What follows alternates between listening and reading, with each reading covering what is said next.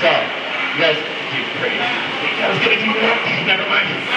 Just kidding. Alright. Make it a little easier. Yeah, right. Yeah, I, besides hurting myself, I'd hurt everybody else within 10, 10 feet of me.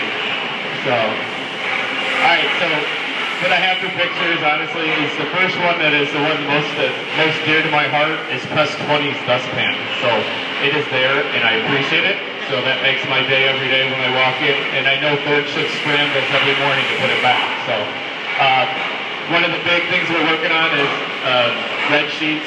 All right, red sheets. Besides the fact of making re- rejects and defects and mobile processing and all that, all those deadly sins, we also waste a lot of motion doing red sheets.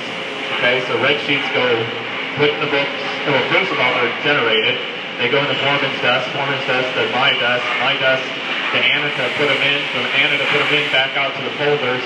When the folders are run, then it goes back over into my box over there for me to sign, then go back to Anna to put those in.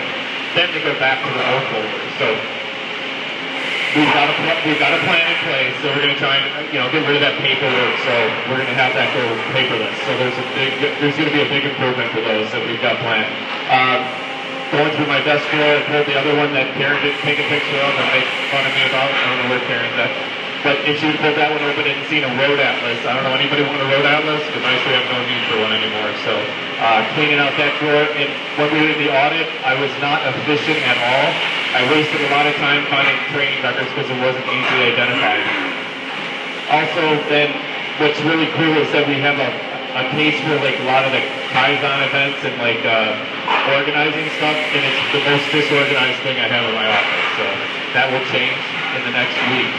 And then also excess inventory. Upstairs we have a lot of extra boxes that we need to get rid of and take care of. So it's just some of the things that areas that we're working on we need to improve. So okay. Then we have next Kaizen events, please make sure you check them and make sure they're signed up, okay? And then uh, also, not next week, the week after, so the 23rd and 24th, uh, Elmer Hansen will be back for a board meeting, so we need to make sure we start cleaning now and getting organized. So uh, it's going to, again, walking through, seeing the building and seeing what's going on. So let's start getting prepared for that, start getting our presses cleaned up for the quarter so we don't have to worry about it last minute, okay? All right, improvements.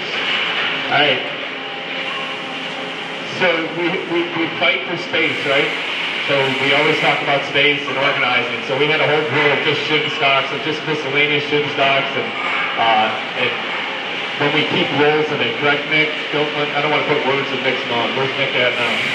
So we keep rolls of it, correct? So these are just leftover stuff that we just thrown in a drawer just in case we ever need, right? So obviously, when we're at this point of whenever we need it, and if we can find it, that's fine. But whenever we need it, it is not always well, well space. We're trying to reduce. I had a conversation with Bob about trying to reduce the amount of places we have stuff so we can have it all in one location because we need more drawers for useful stuff, stuff we use every day. So it's a great example of getting rid of that stuff. And also the pipe clamps, if you take a look, what's a better place to have the pipe clamps? Down here or on the bench? So Nick can put a couple holes in them and put them up on the bench and up off the floor. So it was a great job. So let's give Nick a hand for that.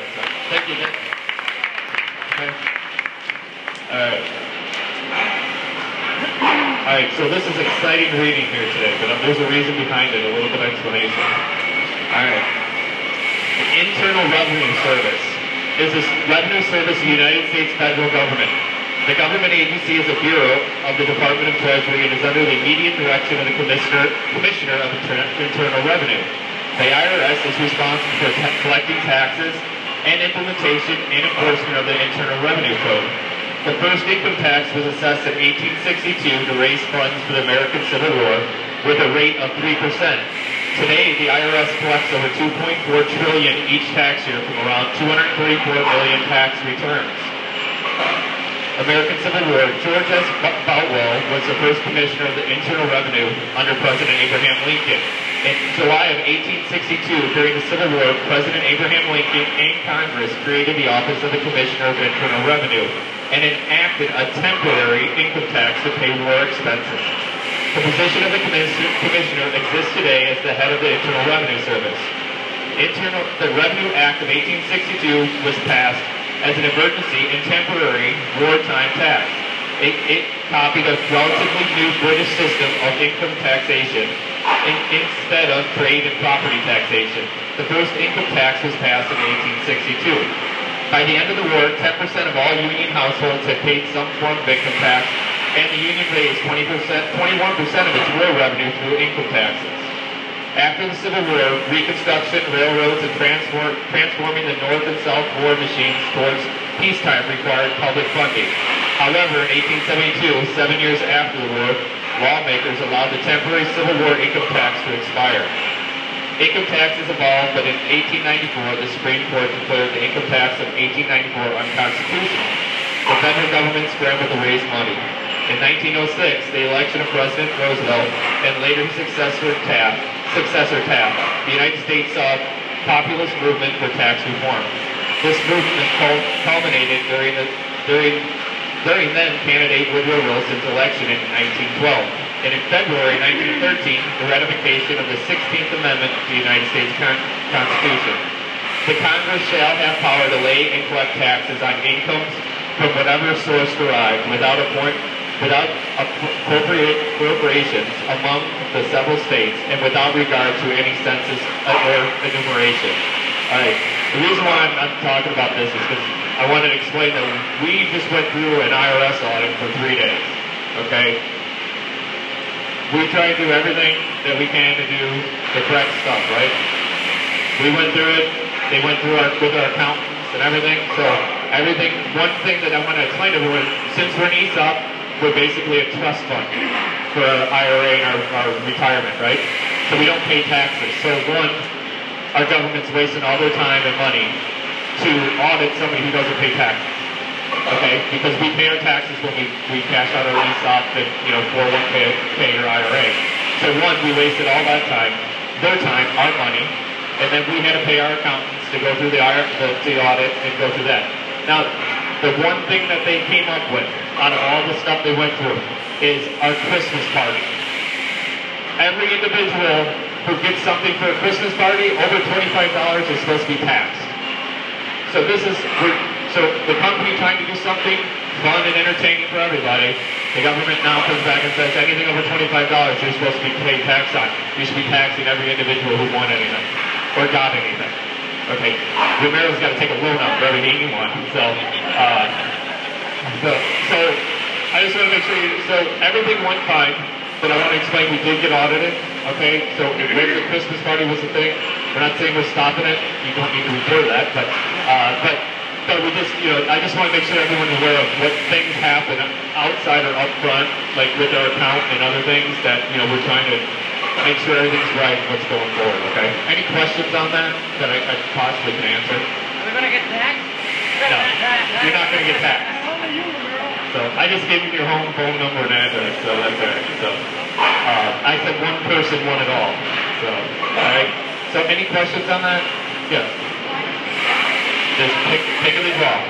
So, yep, first time.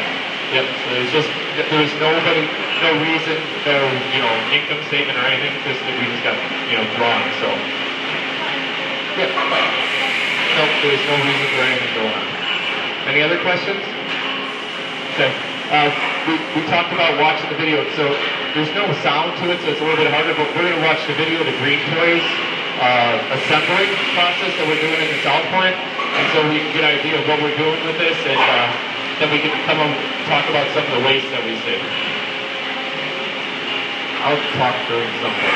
All right, so this is a box, and Tom Tom Cruise is very uh, well versed in this box, but if you look at this box and look how this has to go together.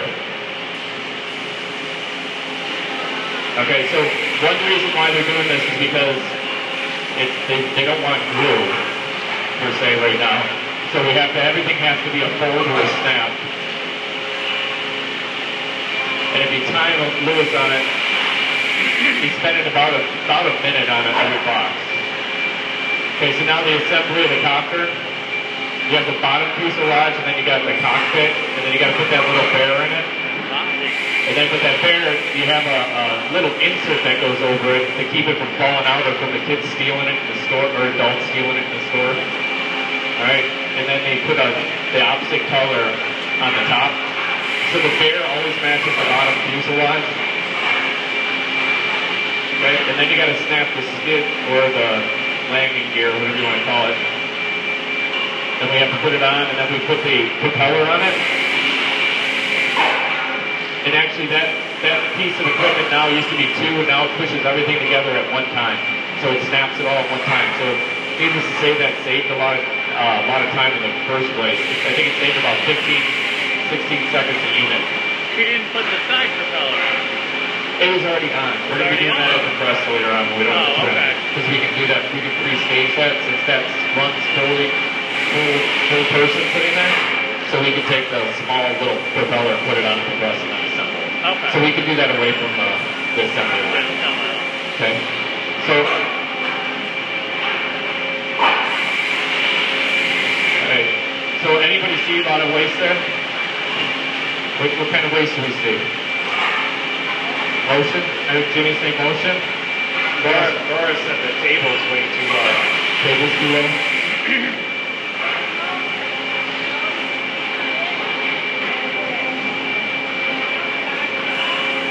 The boxes up, tilt boxes up, yeah, make it easier to grab them. Yep, closer together. We, we've, that, we've changed, uh, other, some of that stuff we've already implemented. Uh, we already tilted the boxes and actually made it a, a square now instead of a, a U. So you just more rotate around and you're not walking. Um, Is there a reason why the rotors have to be, or why the plastic things are there? So the Yeah. rotors have to be lined up? yeah, they're, they're at the location of the snaps that, that have to be pushed together. So you have to rotate the, the propeller just at 45 degrees so it doesn't get caught. Right. Can you put a stop so he just he doesn't have to try to position it? The, it's made right now to make both parts. If you didn't want to do that, you you have to you have to have a you have to do a changeover between the seaplane and the helicopter. Helicopter. Yeah. But not saying we can't. So Tom, what is? I think we've ended up about two minutes, right? It's about two minutes, and it's about a minute per box and a minute for uh, assembly. Anything? Anybody else see anything else? What other waste we got? Obviously, On the box, um, right now it takes about between 50 and 60 seconds to, to uh, the box. What we did was we went to a redesign, so it's uh, you're not doing all the extra folds. It's uh, it's really one fold and then a snap at the bottom, so it takes it from 60 seconds to 10 seconds. And that, when you aggregate you push out the, the numbers there, it's, the labor savings is about $55,000 a year, just in that cost savings of the fold. So, awesome uh, wins. yeah. So one of the, just to give you an idea, so if taking two minutes apart or a minute apart, we have orders for 40,000 helicopters. Okay, 40,000 is a $150,000 order. They want it as soon as possible. So if you, if I calculate the math, basically that takes, it's gonna take us 40 days, five, six weeks just to assemble that. Okay, so we're trying to cut down time, so, uh, I just wanna give you guys an idea of what the orders are like too, so that's why we're running them all off, because that lead time for delivery is way out there, so it takes a long time to get them all together, okay? So again, it's a, it's a, it's a nice diversification to our sales, the toys are something new, it's gonna keep us busier towards fall because they're Christmas mostly. That's we need to get back to sometime in October. August, September, October. So it's a good good point for our sales. So uh, and right now, like I said, just for the July order is $150,000.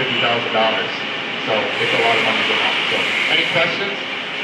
Yes. I was just wondering about pulling the part out to put it on uh, the helicopter, you know, like I was pulling out box. Yep. It was like some kind of two or three feet or. Yeah. So like the uh, barrel big that we had for Bosch that had a, a yeah like a ramp or a shelf on it. Where you're grabbing over it instead of over and back. Or where it was off side in the back. So what? Yep, absolutely. So what we're going to do is keep remember this, and then after today, we're going to take another video today where we're at. So we'll go through it again, like taking some of the suggestions. So we'll see where we're at. So okay, so we can get an idea of better, better, uh, better improvements. Okay. Any questions? Think of doing it at the assembly line? No.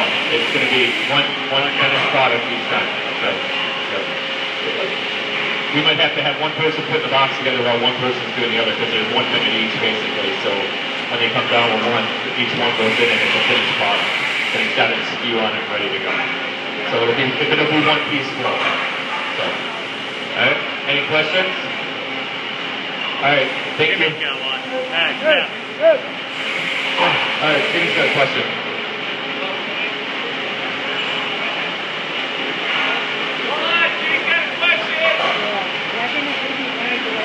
What? Yeah. Thank you for the donuts, ladies. Thank you. Oh, That's nice, thank you.